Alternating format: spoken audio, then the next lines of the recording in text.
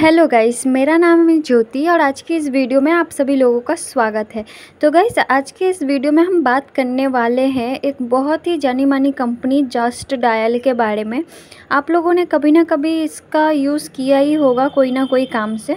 सो हम लोग क्या इस कंपनी का थोड़ा बहुत प्रोफ़ाइल डिटेल्स की बात कर लेंगे? देन इसका फंडामेंटली कितना स्ट्रॉन्ग है? अभी बाइंग अपॉर्चुनिटी है या नहीं बात कर लेंगे? एंड इसका चार्ट एनालिसिस करके भी देखेंगे कि पास्ट में जब से लिस्टेड हुआ है, तब से लेके अभी तक का इसका कैसा परफॉर्मेंस रहा है? उसके बेस पे हम डिसाइड करेंगे कि आगे हमें इसमें इन्वेस्ट करना चाहिए कि थोड़ा बहुत वेट करना चाहिए। बाकी आप कोई भी इन्वेस्टमेंट कोई भी वीडियो के बेस पे ना करें, अपने कोई भी इन्वेस्टमेंट से पहले अपने फाइनेंशियल एडवाइज़र को एक बार पूछ ले, कोई भी वीडियो के बेस पे कोई भी ट्रेड ना ले बिकॉज़ मैं सेवी रजिस्टर्ड नहीं हूँ सो मैं एडुकेशनल पर्पज़ के लिए वीडियोस बनाती हूँ सो आप गाइस देख सकते हो आप लोग जस्ट डायल एक सर्च इंजन कंपनी है। जैसे कि आप लोगों को पता ही होगा, हमारे नियर बाई लोकेशन में जो भी सर्विस प्रोवाइडर होते हैं, जो जस्ट डायल पे लिस्टेड होते हैं तो उनको क्या फाइंड करने में इजी हो जाता है इस जस्ट डायल कंपनी के थ्रू और उनसे कांटेक्ट करना भी इजी हो जाता है। जैसे कि आप लोगों को पता ही होगा जितने लोगों ने भी यूज़ किया होगा ऐप को, आप लोगों को अच्छे से ही पता होगा इस कंपनी के काम के बारे में। वीडियो मैंने 8 अगस्त को रिकॉर्ड किया था। उस टाइम पे देख सकते हो जस्टायल एक ओवर वैल्यूड मीन्स कंपनी है और यहाँ पे मीन्स एक अच्छी अपॉर्चुनिटी दिख रही है बाइंग के लिए।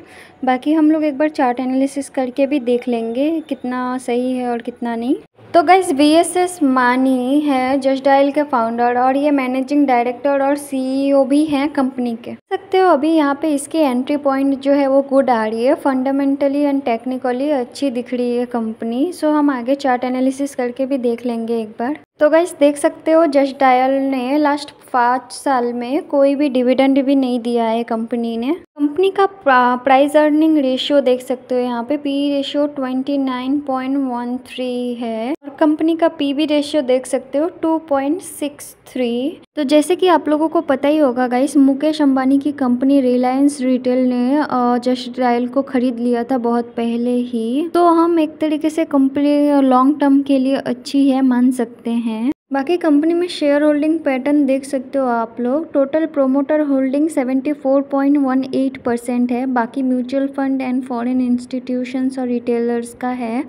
और यहाँ पे फॉरेन इंस्टीट्यूशंस का हिस्ट्री देख सकते हो गाइस धीरे धीरे शेयर होल्डिंग बढ़ती जा रही है। सो एक तरीके से फॉरेन इंस्टीट्यूशंस का भी ट्रस्ट है इस कंपनी के, ये मान सकते हो आप लोग। तो गाइस अगर कोई एक लाख रुपये इस पे जस्ट डायल में एक साल के लिए इन्वेस्ट करता है तो उसका एक लाख बढ़ के एक लाख अस्सी हज़ार रुपये बन जाएगा। ये होती है कंपाउंडिंग का पावर सो मीन्स अच्छी खासी है। अगर पास्ट में किसी ने बहुत ज़्यादा पैसे लगाए रखे होते तो आज उसको अच्छे खासा रिटर्न मिल चुका होता गाइस तो गाइस यहाँ पे मैंने वन डे का टाइम फ्रेम ले लिया है और आप लोग यहाँ पे देख सकते हो कि ऊपर से रिजेक्शन मार के थोड़ा बहुत नीचे आया है और यहाँ पे ट्रेड कर रहा है।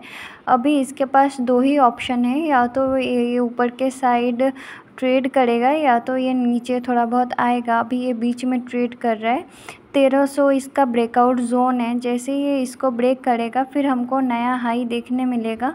और अभी इसका बारह बीस और से बारह तीस का सपोर्ट जोन बन रहा है, देख सकते हो। यहाँ पे मैंने वन मंथ का टाइम फ्रेम फ्रेम ले लिया है। यहाँ पे भी सेम हमको जो रेसिस्टेंस तो वही तेरह सौ के ब्रेकआउट का ही वेट करना है। बाकी जो सपोर्ट लेवल है, यहाँ पे जो एक छोटा सा रेसिस्टेंस देखने मिल रहा है नीचे के साइड आपको, ये आपका बन जाएगा। और यहाँ पे देख सकते हो मैंने सिक्स मंथ का टाइम फ्रेम ले लिया था यहाँ पे देख इस मैंने यहाँ पे वन मंथ का टाइम फ्रेम ले लिया है और यहाँ पे देख सकते हो आप लोग इसका चार्ट अभी ये क्या ब्रेकआउट जोन पे ही है। यहाँ पे एक छोटा सा रेसिस्टेंस देख सकते हो, जहाँ पे सपोर्ट ले सकता है मार्केट बाकी ये तेरह सौ का ब्रेकआउट करेगा तो हमको ये जो पुराना हाई था, वहाँ तक का टारगेट मिल जाएगा गाइस बाकी अभी हमको तेरह सौ के ब्रेकआउट का वेट करना रहेगा।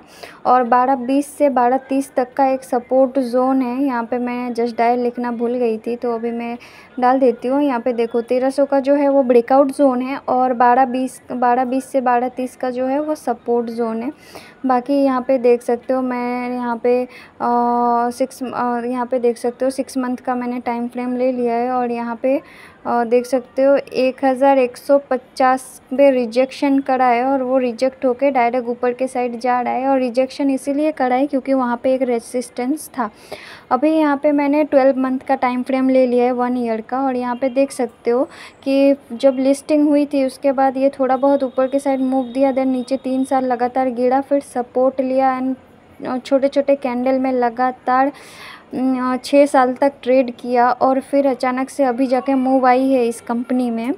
अभी जब 1300 का ब्रेकआउट आएगा तो हमको ये रेसिस्टेंस जो है यहाँ तक का टारगेट मिलेगा एंड जब ये रेसिस्टेंस का ब्रेकआउट आएगा तब हमको न्यू हाई देखने मिलेगा। ये जो स्पाइक आई थी तो ये स्पाइक तक का मूव हमें देखने मिल जाएगा, जहाँ पे मार्केट ने हाई लगा के आया था। 1400 के ब्रेकआउट पे हमको न्यू हाई देखने मिलेगा। ये जो है, यहाँ पे ये परफेक्ट एक ब्रेकआउट या फिर रेसिस्टेंस जोन बोल सकते हो। जैसे पहले कंपनी जब लिस्ट हुआ था, उसके बाद ये तीन साल लगातार जिस जोन पे रिजेक्ट होके नीचे आई थी, वहीं पे वापस ये पहुँचने की कोशिश कर रही है। और अगर वापस से वहाँ पे सस्टेन होके ब्रेकआउट नहीं आया तो ये वापस से नीचे आ जाएगी। ये हम एक्सपेक्ट कर सकते हैं। ये जो रेसिस्टेंस जोन था पुराना, वहीं से वापस से अगर नीचे आ जाएगी तो हम वापस से कुछ सालों के लिए मतलब कुछ महीनों या सालों के लिए फंस सकते हैं। सो हम ब्रेकआउट का वेट करेंगे। ठीक है गाइस तो चलो गाइस टाटा।